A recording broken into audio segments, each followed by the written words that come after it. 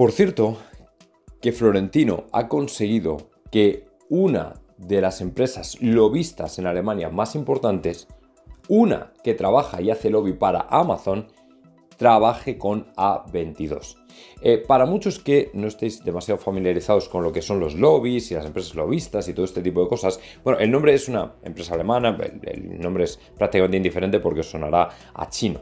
Pero lógicamente el acercarse precisamente de esta manera a Amazon, no tengo que deciros lo rentable que puede ser.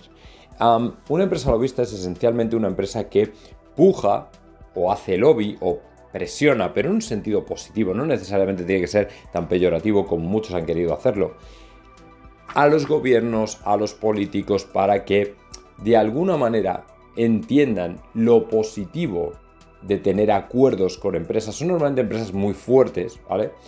Que hacen ver a los gobiernos lo importante que es que ellos estén en el mercado, pues porque generan puestos de trabajo, generan riqueza, generan un montón de cosas. Entonces lo que se trata es de que los políticos, que son más tontos que, el asa de un cubo, pues esencialmente no vayan a pifiarla con sus gilipolleces.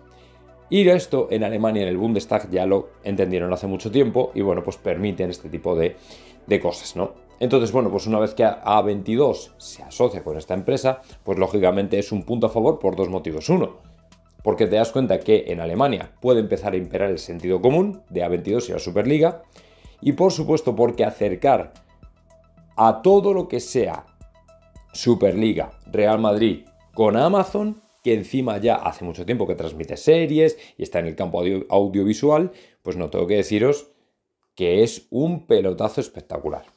Así que bueno, vamos a ver qué ocurre, vamos a ver qué pasa, vamos a ver si efectivamente lo conseguimos, porque desde luego sería maravilloso.